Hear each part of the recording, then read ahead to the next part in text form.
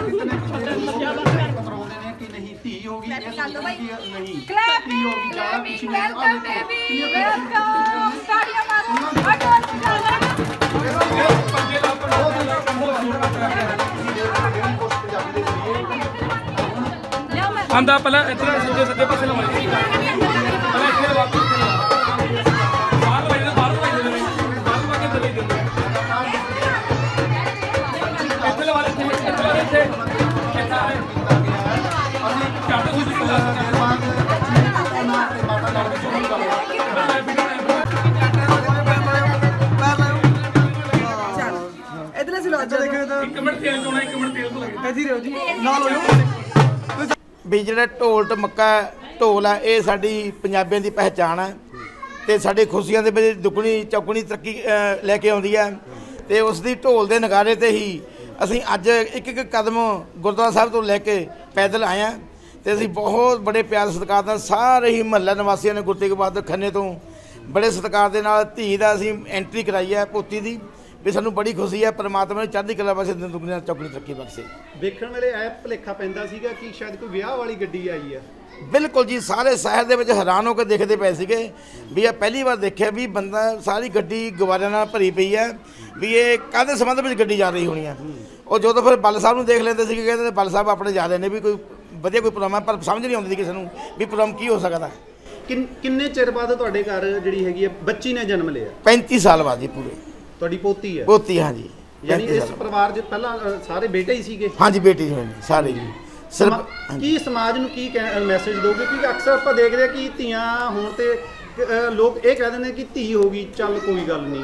ਲੇਕਿਨ ਤੁਸੀਂ ਬੜੀ ਖੁਸ਼ੀ ਪੂਰੀ ਬਣਾਈ ਬਿਲਕੁਲ ਜੀ ਕਿਉਂਕਿ ਇੱਕ ਅਸੀਂ ਮੈਸੇਜ ਦੇਣਾ ਚਾਹੁੰਦੇ ਹਾਂ ਪੂਰੀ ਦੁਨੀਆ ਜਿੱਥੇ ਤੱਕ 700 ਬੰਦੋ ਪਰ ਦੁਨੀਆ ਰਹਿੰਦੀ ਹੈ ਹਰ ਵਰਗ ਨੂੰ ਤੇ ਹਰ ਧਰਮ ਦੇ ਨੂੰ। ਕਿ ਭਾਈ ਧੀਆਂ ਦਾ ਸਤਿਕਾਰ ਕਰੋ, ਧੀਆਂ ਪੁੱਤਰਾਂ ਨਾਲੋਂ ਵੱਧ ਪਿਆਰ ਸਤਿਕਾਰ ਕਰਦੇ ਨੇ, ਪੜ੍ਹਦੀਆਂ ਨੇ, ਲਿਖ ਕੇ ਪੈ ਕੋਈ ਪਾਇਲਟ ਬਣਦੇ ਕੋਈ ਇੰਜੀਨੀਅਰ ਬਣਦੇ ਕੋਈ ਡਾਕਟਰ ਬਣਦੀ ਹੈ, ਤੇ ਇਹਨਾਂ ਦੀ ਸਾਂਝ ਨਾਲ ਹੀ ਦੁਨੀਆ ਚੱਲਣੀ ਹੈ। ਕਿਉਂਕਿ ਗੁਰੂ ਗ੍ਰੰਥ ਸਾਹਿਬ ਜੀ ਦਰਜ ਹੈ, ਸੋ ਕਿਉ ਮੰਦਾ ਆਖੀਐ, ਜਿਤ ਜਮੈ ਰਜਾਨ ਜਿਨ੍ਹਾਂ ਦੀ ਪੇਟ ਪੇਟ ਦੇ ਵਿੱਚੋਂ, ਕੁੱਖ ਦੇ ਵਿੱਚੋਂ ਬੜੇ ਬੜੇ ઋષਿ ਮੁਨੀ ਪੀਰ ਪਕੰਬਰ ਸਿੰਘ ਯੋਧੇ ਨੇ, ਗੁਰੂਆਂ ਨੇ ਜਨਮ ਲਿਆ।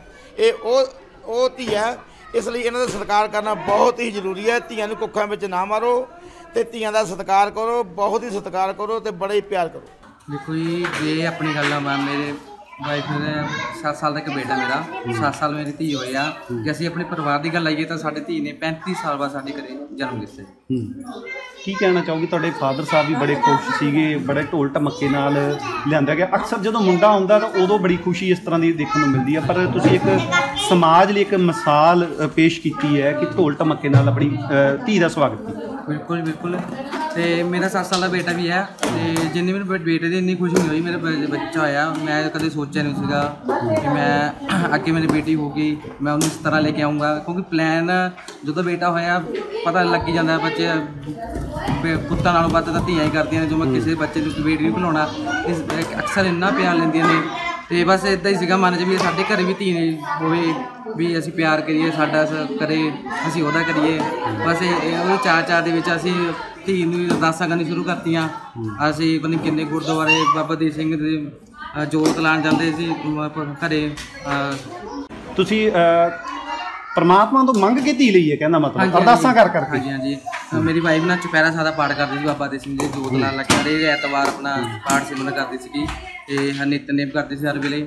ਵੀ ਧੀ ਦੀ ਦਾਤ ਬਖਸ਼ ਪਰਮਾਤਮਾ ਨੇ ਪਰ ਪਰਮਾਤਮਾ ਸਾਡੀ ਸੁਣੀ ਆ। ਤੇ ਵਾਹਿਗੁਰੂ ਜੀ ਮੈਂ ਧੰਨਵਾਦ ਕਰਦਾ।